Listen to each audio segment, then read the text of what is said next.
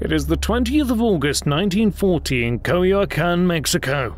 A man in exile is writing in his study. He is interrupted by a Stalinist agent who has broken into his home armed with an ice axe. The pair struggle before the agent drives the adze of the axe into the man's skull, bungling his attack but penetrating his skull and brain. Too late, the man's bodyguards come to his aid, and he dies the following day in a Mexico City hospital. The man's name? Leon Trotsky.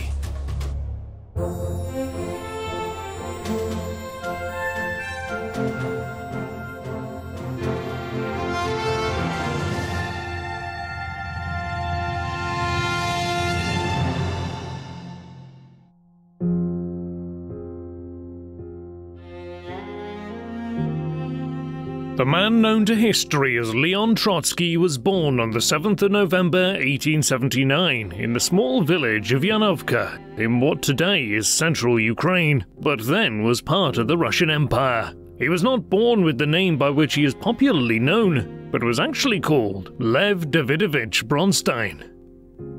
His father was David Leontovich Bronstein, a relatively prosperous Jewish Ukrainian farmer. The family lived in a quite isolated part of Ukraine, which was over 20 kilometers from even the nearest post office. His mother was Anna Lvovna, and although the family was Jewish, they were not particularly religious, and Russian and Ukrainian were spoken at home rather than Yiddish, the language typically spoken by Ashkenazi Jews. When Leon was eight years old, his father sent him to school in Odessa, the major city of the Crimea on the Black Sea in southern Ukraine. Here he was placed in an environment in which a historically multicultural city was becoming increasingly Russified, in line with imperial policy. From early on, his rebellious streak was evident, and while at Odessa, he organized a strike against an unpopular teacher. The world in which Trotsky was growing up was one in upheaval. For centuries, Russia had been underdeveloped politically, culturally, and socially by comparison with its neighbors in Central and Western Europe. This began to change in the 19th century. Russia's population doubled between 1850 and 1900. Coal production increased 12 fold during this period, while iron and steel production doubled. Great technological advances such as the train, telephones, and telegrams also brought Russia and Russians into much closer engagement with mainstream European ideas. Accordingly, a vast movement began from the mid 19th century to reform Russian society and end the autocracy and inequality which characterized Russian rule under the autocratic emperors or Tsars. In 1861, Russia became the last major European power to abolish serfdom under which approximately 40% of the Russian population had been effectively under the control of the landowners on whose estates they lived. Further reforms were in store. For instance, censorship of the press was relaxed, allowing for a greater dissemination of political ideas, new political groupings began to emerge in this more permissive political environment. For instance, Mikhail Bakunin founded modern collectivist anarchism in Russia in the mid 19th century, which theorized the complete dismantling of centralized state authority in response to the autocratic Tsarist regime.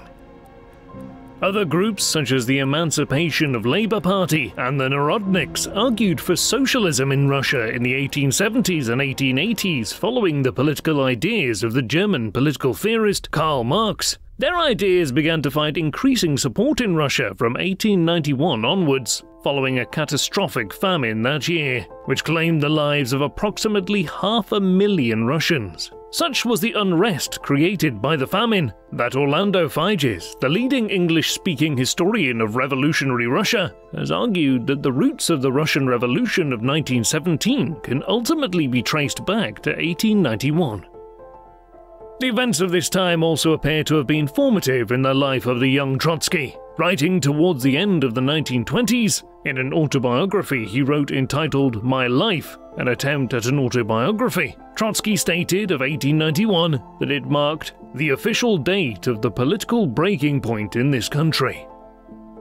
Trotsky was not alone in his thinking, and the struggles engendered by the famine led to the rising popularity of the Russian socialist movement in the 1890s. The disparate socialist groups eventually coalesced in 1898 to form the Russian Social Democratic Labour Party, a revolutionary socialist party formed to unite Russian socialists in the cause of advancing the lot of Russian industrial workers.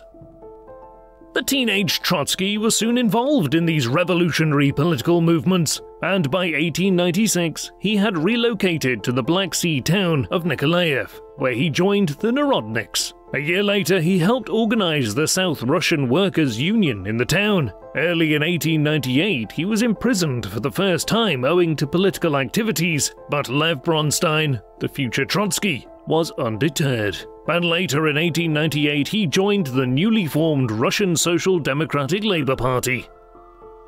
Following his arrest at Nikolaev in 1898, Trotsky had been sent to Moscow to face trial for his actions in organizing revolutionary groups in southern Ukraine. After months of inaction in 1900, he was sentenced to four years hard labor in Siberia the thinly populated, vast region of eastern Russia which served as a penal colony for dissenters against the Tsarist regime. His life in the east was tempered somewhat by his marriage to Alexandra Sokolovskaya in the summer of 1899, as she accompanied him to Siberia, and two daughters, Zinaida and Nina, were born in the two years that followed.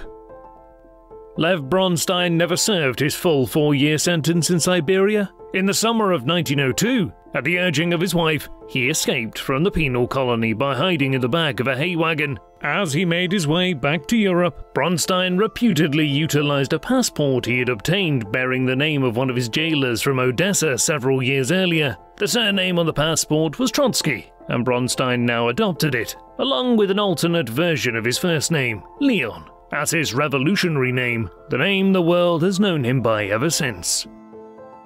The newly free Leon Trotsky made his way to London after escaping from Siberia. Here he made contact with several leading members of the Russian Social Democratic Labour Party, who had gone into exile in England after the Tsarist regime of Nicholas II had cracked down on its membership. These exiles included Georgy Plekhanov, a leading editor of the Russian socialist newspaper Iskra, or The Spark, and also viewed as the founder of the social democratic movement in Russia in the 1870s. Trotsky, who is generally regarded as having been a highly accomplished writer and brilliant polemicist, was soon putting his own literary abilities to work with the newspaper.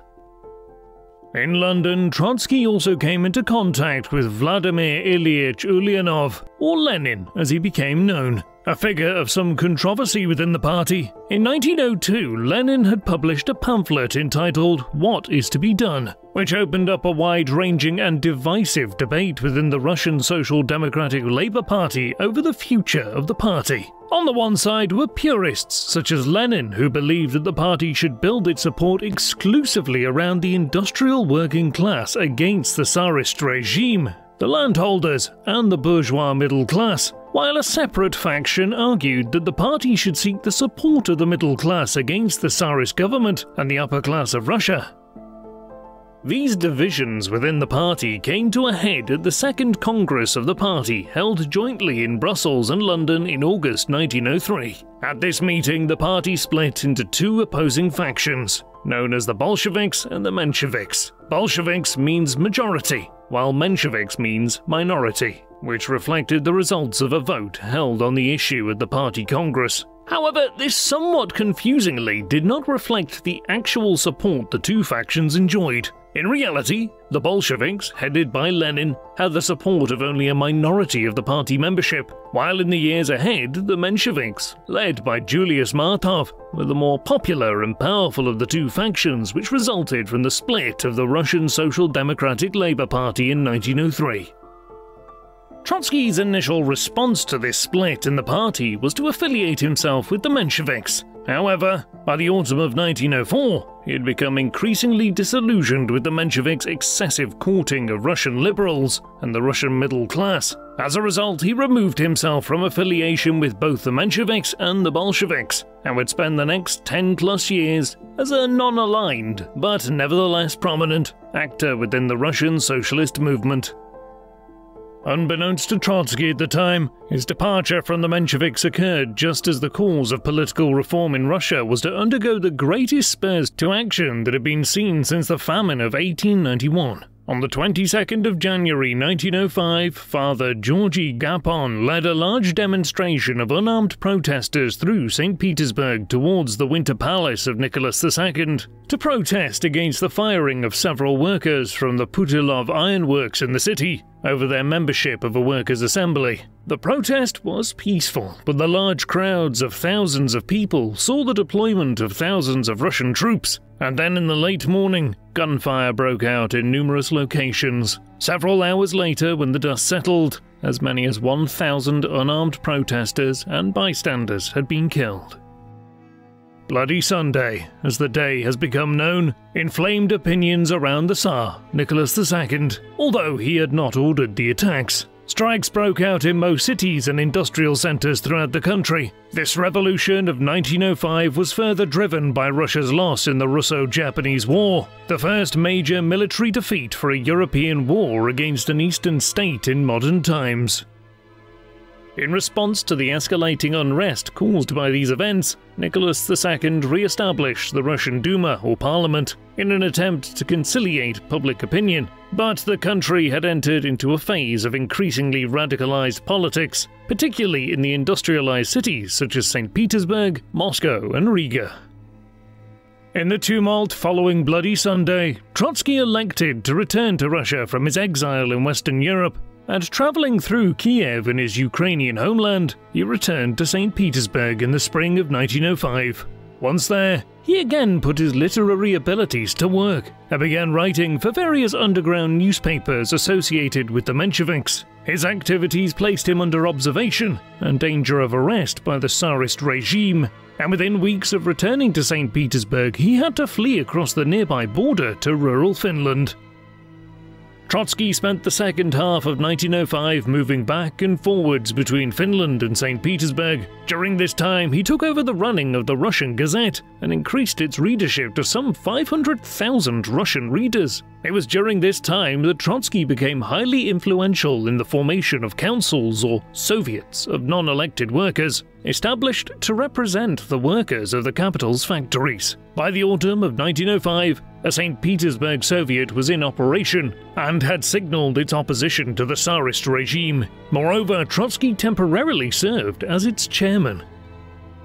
It was this role as a writer and lead agitator which led to Trotsky's second period of imprisonment. Late in 1905, government troops arrested many senior members of the St. Petersburg Soviet, including Trotsky. He spent much of 1906 in prison before finally being convicted of inciting an insurrection in St. Petersburg.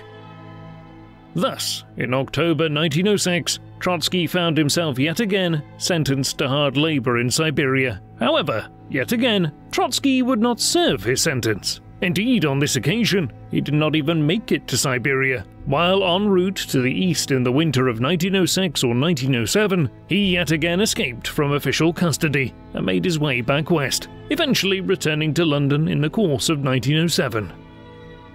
However, within a few months, Trotsky had relocated to Vienna, and it was at the capital of the Austro Hungarian Empire that he would conduct his work for much of the next decade. Here he became involved from 1908 onwards with the Russian Marxist and psychoanalyst Adolf Joffe in the publication of an underground Russian language newspaper, Pravda, or Truth, which was smuggled into Russia.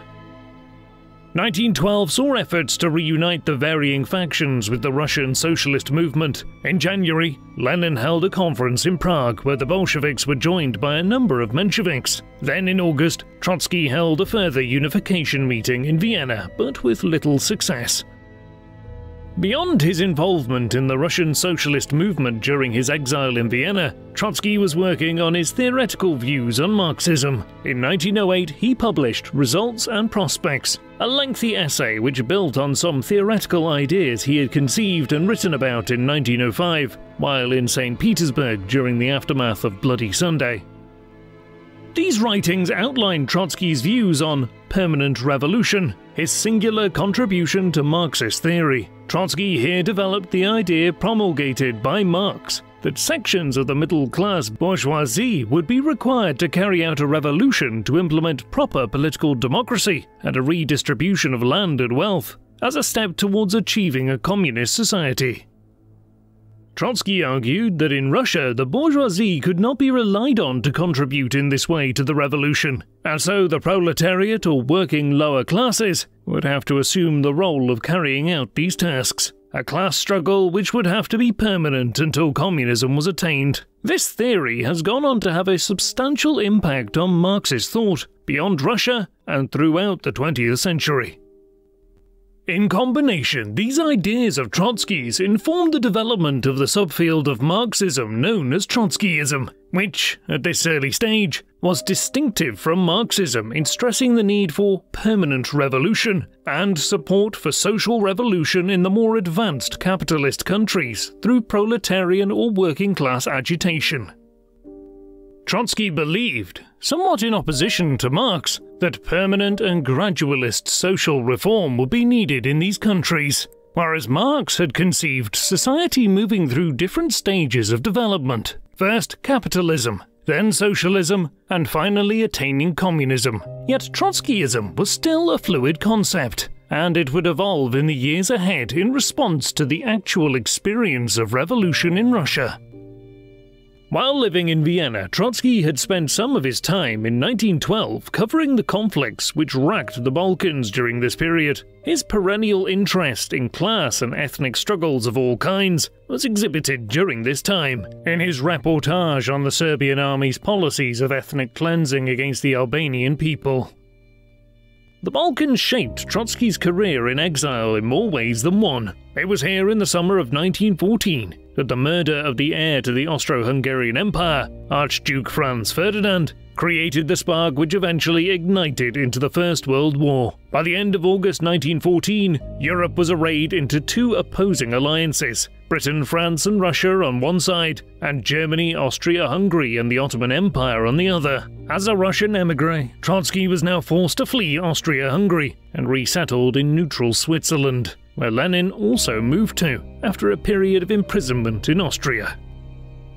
In Switzerland, Trotsky began working with the Swiss Socialist Party and wrote a book, The War of the International, in which he opposed the war, in contrast to a number of other socialist parties throughout Europe who had favoured the conflict for varying reasons based on domestic circumstances.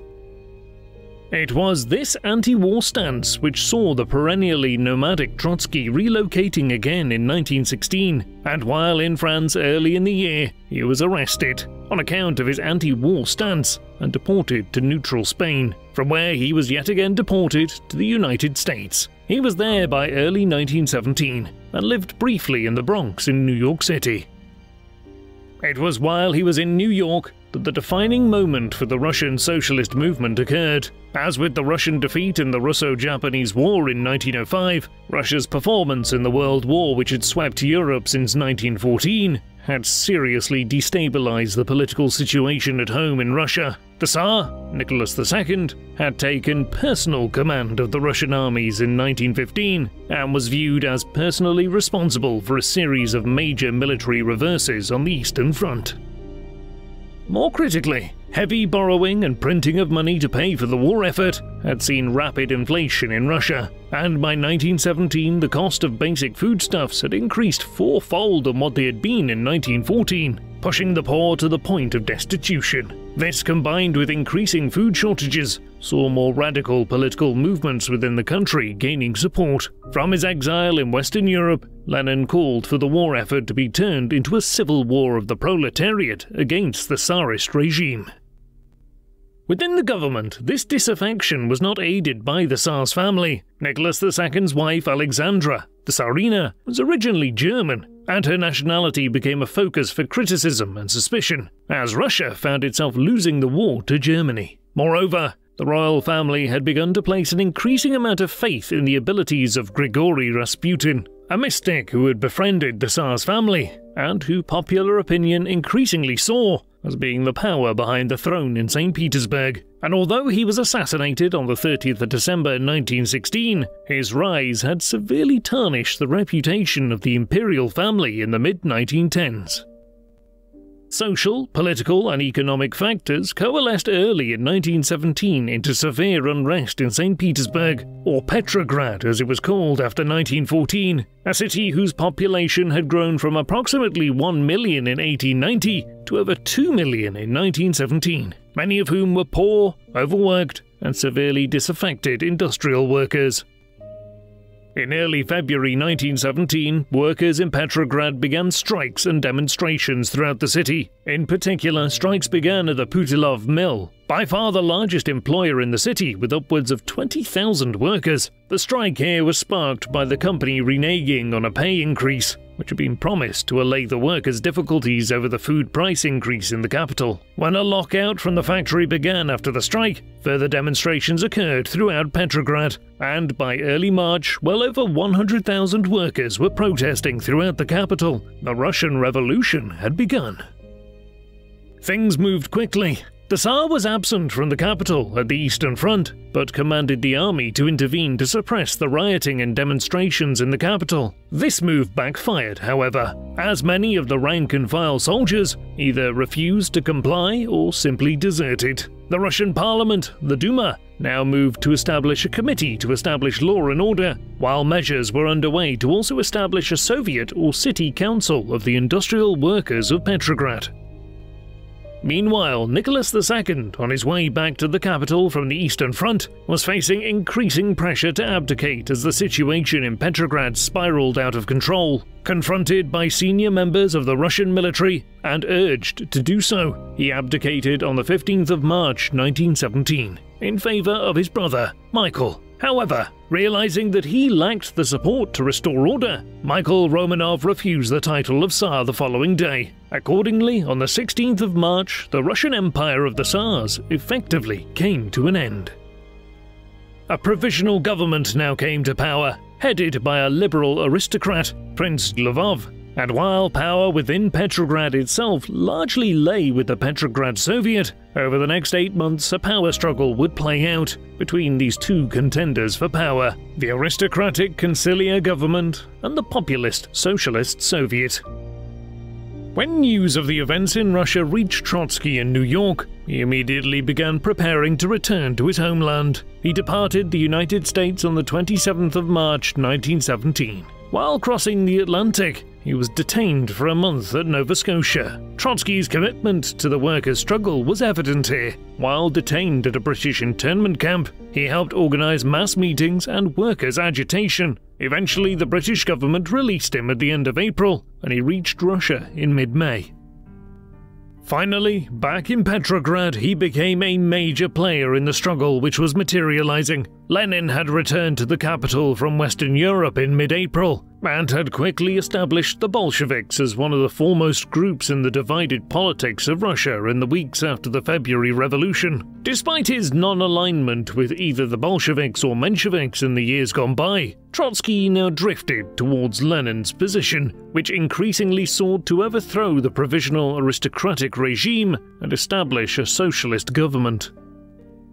Government crackdowns on some of the more militant groupings in Petrograd had seen Lenin flee over the border into Finland. However, a failed attempt by the military to seize power in Russia and place General Lavr Kornilov in charge of the government in September 1917 saw Lenin return to the capital in October. Upon his return, the Bolshevik Central Committee voted to launch a revolt and seize power. In response not only to the failed military coup d'etat, but also major military reverses on the Eastern Front, which had seen the German army advancing into Russia itself after seizing Poland and Lithuania.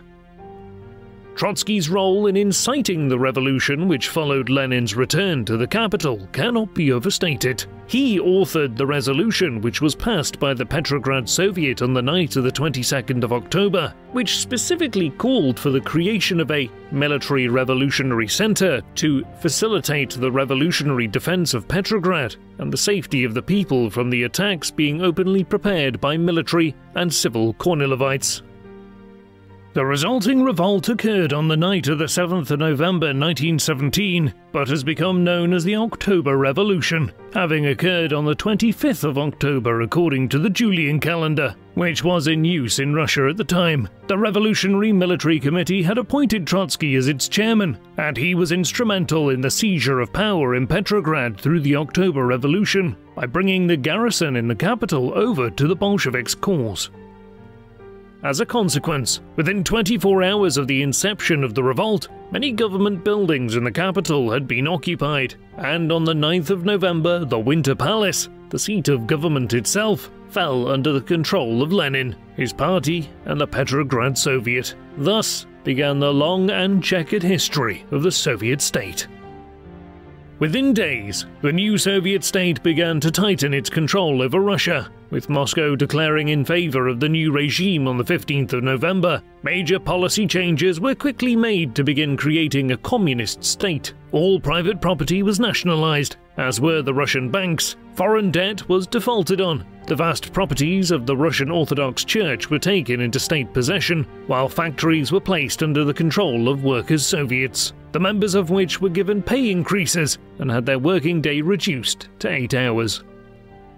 Trotsky's star was in the ascendant in the first weeks of the new Soviet state, following his role in the October Revolution and the regard he was held in by members of the Petrograd Soviet in these early days of the revolution. Nobody other than Lenin was more powerful within the new regime, and his role in the months that followed reflected this status as the second most powerful figure in the government of Soviet Russia.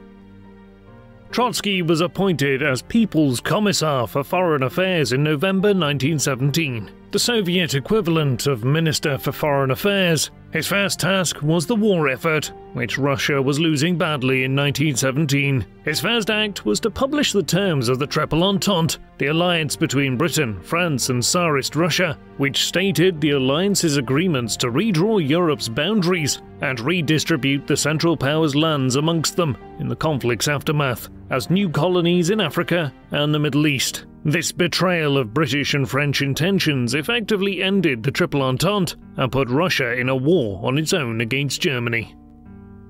At the same time, Trotsky began peace negotiations with the German government in Berlin to bring Russia's involvement in the First World War to an end. These began in December 1917. From the very beginning, the Germans laid out highly punitive terms which involved their annexation of huge tranches of the Russian Empire around modern day Poland, the Ukraine, and the Baltic Sea region.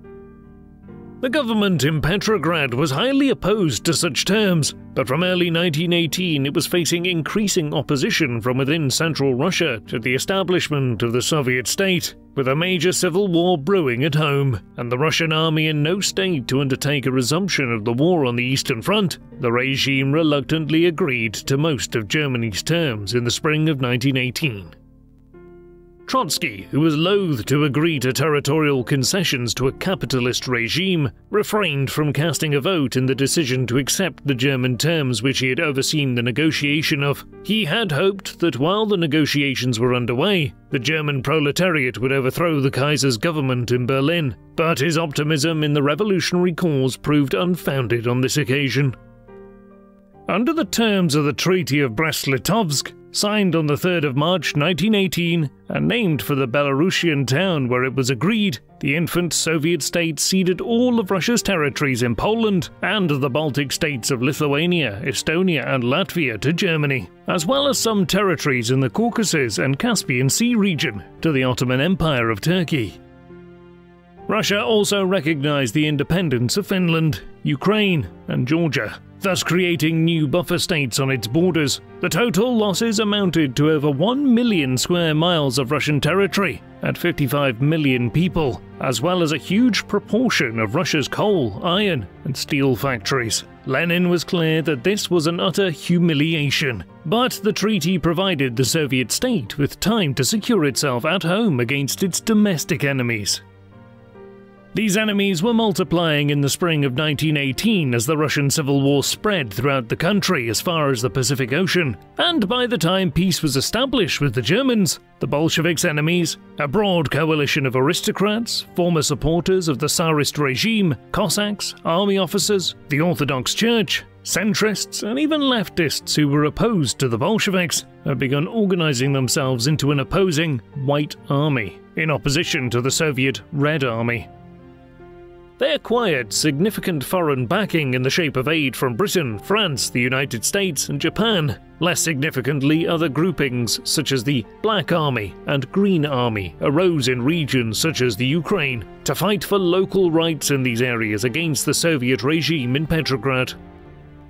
Having led the peace negotiations with Germany, Trotsky now took center stage in the Civil War effort, and in mid March, just days after the finalization of the Treaty of Brest-Litovsk, he resigned as People's Commissar for Foreign Affairs and was then appointed as People's Commissar for Military and Naval Affairs. Thus, at the height of the Civil War, Trotsky was effectively placed in charge of the Soviet war effort. The initial problems facing him were the small size of the Red Army and the lack of professionalism within it. Consequently, his first act was an enormous recruitment drive, and within six months of his taking charge of the Red Army, its numbers had swelled from 300,000 men to 1 million troops. Eventually, this would increase to 3 million men as new fronts opened, particularly in Poland from early 1919 onwards, as Polish separatists undertook the Polish Soviet War, backed in particular by Britain and France to establish what eventually became the Second Polish Republic.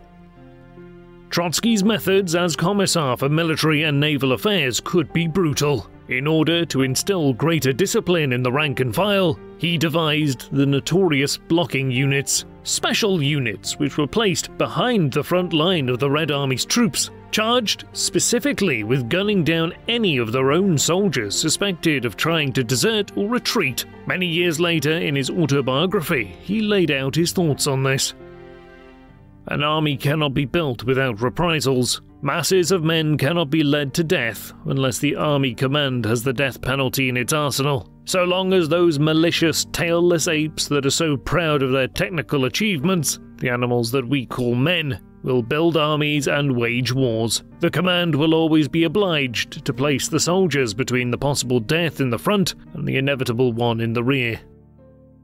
These blocking units remained a common feature of the Red Army for many years and were used extensively again during the Second World War. But beyond this brutal tactic for enforcing discipline on the rank and file in the Red Army, as Commissar for Military and Naval Affairs, Trotsky was also a firm proponent of the Red Terror, the ruthless suppression of political dissent within the military establishment, and the use of labor camps to provide arms and other supplies for the war effort.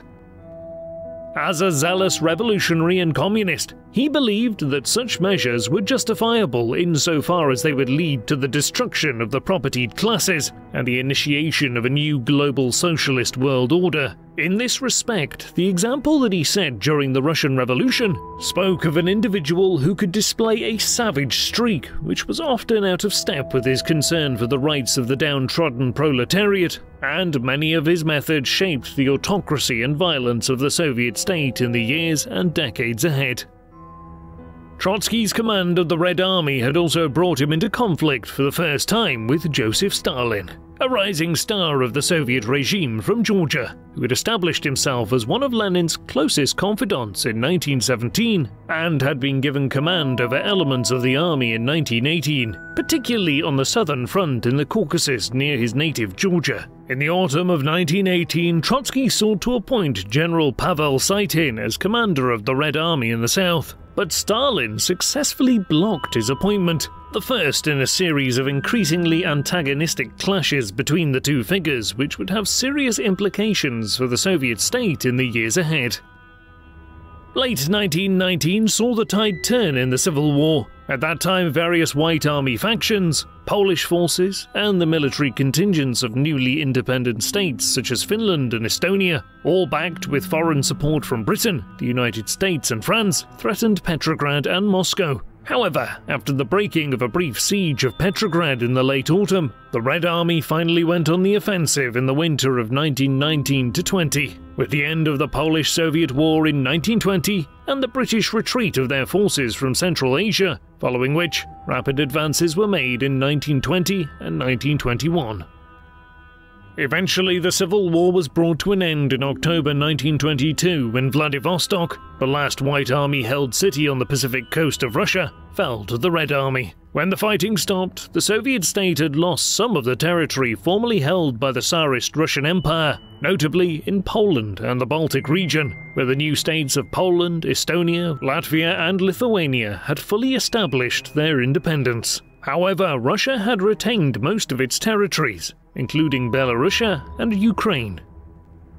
With the establishment of peace after five years of revolution, civil war, and unrest, the focus of the Soviet state turned to rebuilding and restructuring the economy in line with socialist principles. And in 1921, Lenin's government began introducing the new economic policy, a market orientated economic policy which allowed individuals to own small amounts of private property and included various other elements of a capitalist system.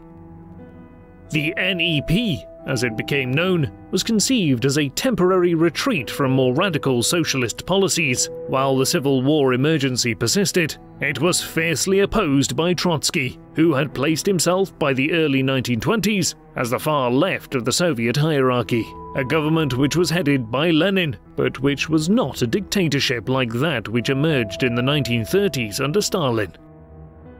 Trotsky effectively believed in line with Marxist and socialist principles, that the state should have complete control over the allocation of all output, and that Russia should develop an exemplary command economy. Nevertheless, the NEP was adopted despite the objections of Trotsky and the other members of the left wing of the Soviet leadership. Indeed, it lasted well beyond the cessation of the war and was the central basis of the Soviet economy until 1928. Meanwhile, as the Civil War was being brought to an end, Lenin's health had begun to deteriorate, opening up serious questions about who would succeed him as head of the Soviet state. He suffered three strokes between May 1922 and March 1923 finally culminating in partial paralysis and loss of his motor functions, including the ability to speak. When he eventually died on the 21st of January 1924, the Soviet hierarchy, or the Politburo as the leadership had become known, had been preparing for his passing for over two years.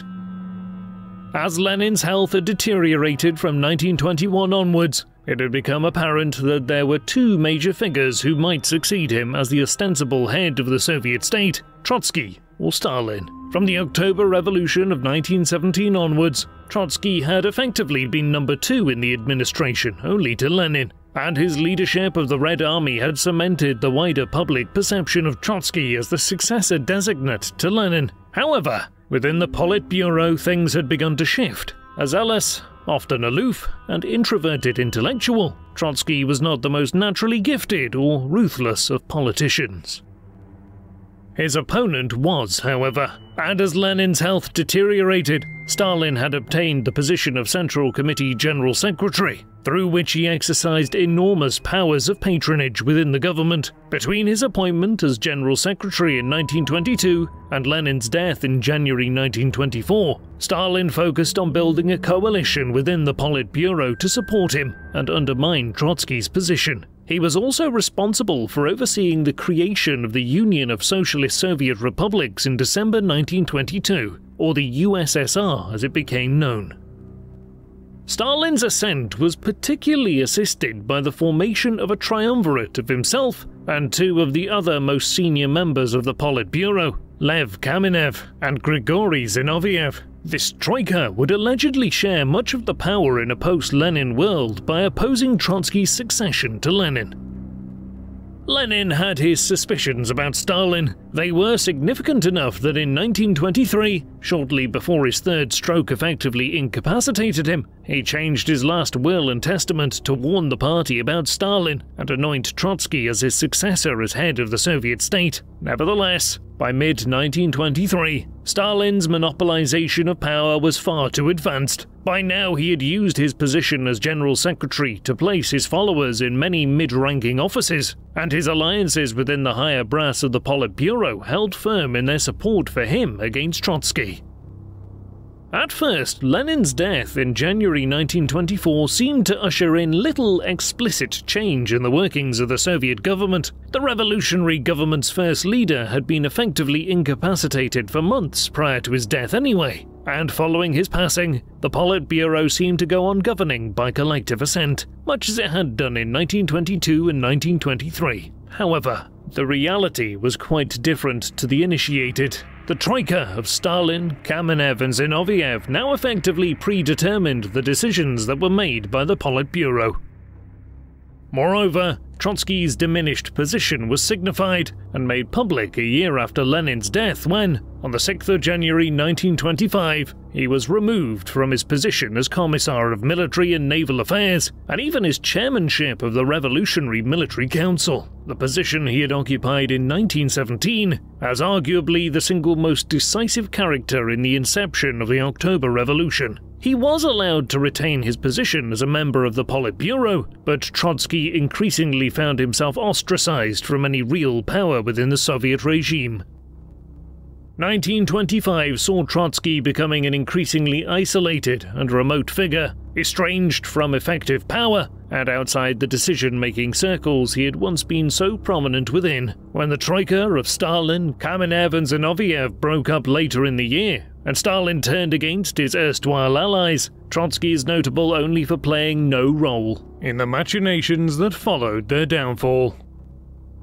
Stalin's split with Kamenev and Zinoviev ushered in the final episodes in the scramble for power in the post Lenin years, and ultimately the last acts of Trotsky's career as a revolutionary in his homeland. At the 14th Congress of the Bolshevik Party in Moscow in December 1925, he allied with Kamenev and Zinoviev against Stalin and his faction to form what has been termed the new opposition. The speeches laid bare that this was now a fight for control of the party, but it was ultimately one in which Stalin was victorious in the months ahead.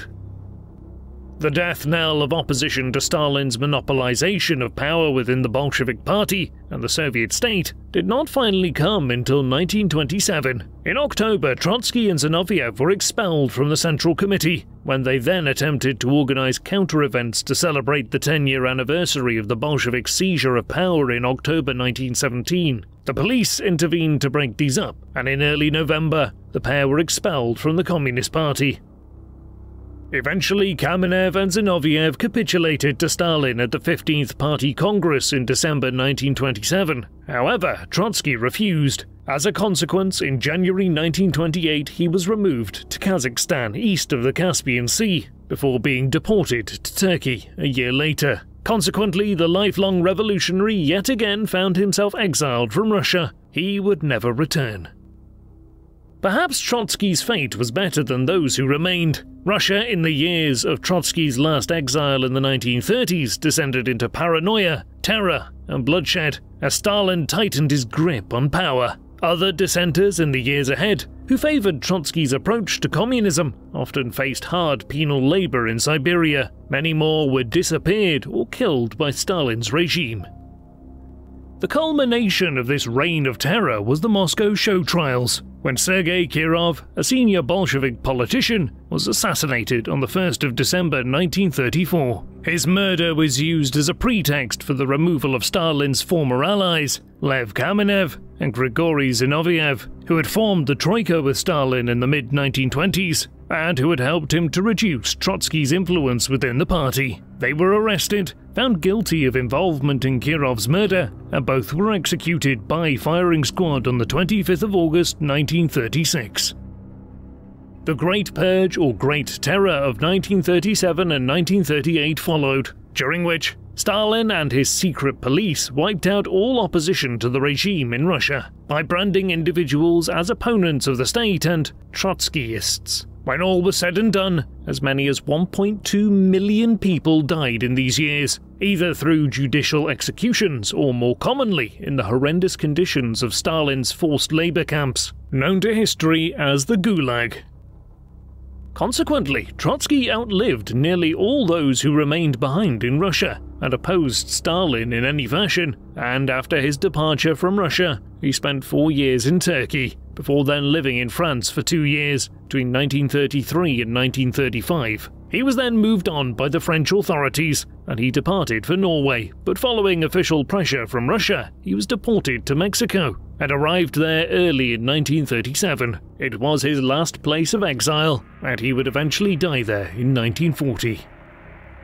His last years in exile were not spent idly. He remained a prolific writer, writing several books including his History of the Russian Revolution and his autobiography. He also worked with the Socialist Workers' Party of the United States while in Mexico and gained supporters amongst members of the Chinese Communist Party, which was undertaking its long and bitter struggle to gain control of China. Moreover, in 1938, he and his supporters founded the Fourth International, a communist revolutionary and internationalist alternative to the Stalinist Comintern. It was almost certainly this continued activity and Trotsky's never ending revolutionary zeal which led to his death. Fueled by the paranoia under which all of Russia was suffering in the 1930s, Stalin had determined, in the latter part of the decade, to dispense with Trotsky permanently, even in faraway Mexico City. On the 24th of May 1940, Trotsky survived a raid on his home by Stalinist assassins. Three months later, however, another Stalinist agent was successful. On the 20th of August 1940, Ramon Mercader, a Stalinist agent, broke into Trotsky's home in Mexico City and drove an ice axe into Trotsky's skull. The blow was poorly delivered, and it was not until the following day that Trotsky finally died in a Mexico City hospital. Thus died the man who was born as Lev Bronstein, but who was known to the world as Leon Trotsky. He was one of the most fascinating figures of Russian history, a deeply committed socialist and believer in the cause of communism. He spent his entire adult life fighting for that ideal, twice fleeing exile to the penal colonies of Siberia and spending 15 years as a revolutionary nomad between Russia, London, Vienna, Switzerland, and the United States before finally returning triumphantly to Russia in 1917 and playing a leading role in the October Revolution. Following the creation of the Soviet state, he was instrumental in the civil wars that followed, essentially becoming the key figure in the early professionalization and development of the Red Army as a formidable revolutionary army. But Trotsky's abilities and intellectual significance extended beyond his practical impact on the government of early Soviet Russia to his role in shaping the very nature of communism itself in the 20th century, particularly with the theory of permanent revolution which influenced communist thinkers in Africa, the Caribbean, and Latin America for decades to come. Yet there was also a paradoxical quality to Trotsky. At times, a seemingly humane man, committed to workers' rights and the good of the proletariat, he could also be brutal in defense of the cause of revolution, as his development of the concept of blocking units within the Red Army testifies.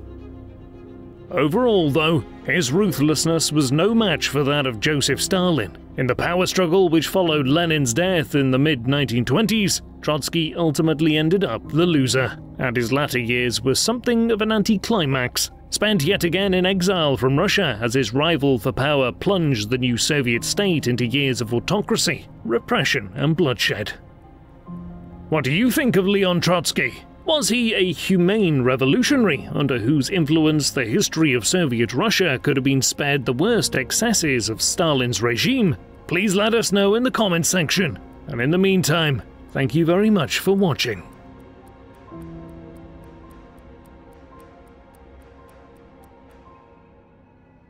Hello guys, thank you so much for watching this video. If you enjoy our work and would like to support the channel, please visit our revamped Patreon and Buy Me a Coffee membership pages, which contain rewards, such as early access to our content, merchandise discounts, and audio versions of our videos, along with much more that we give to our valued supporters. If you have not yet signed up to help our cause, we'd like to ask you to please consider doing so, as we need to secure the channel by safeguarding it from possible demonetization, and also invest in better equipment, software, and more people to help us improve our videos going forward. In short, without your contributions, these videos would not be possible. So if you would like to ensure this channel never has to shut down due to demonetization, please spare whatever you can per month and become People Profiles patrons. Thanks for listening.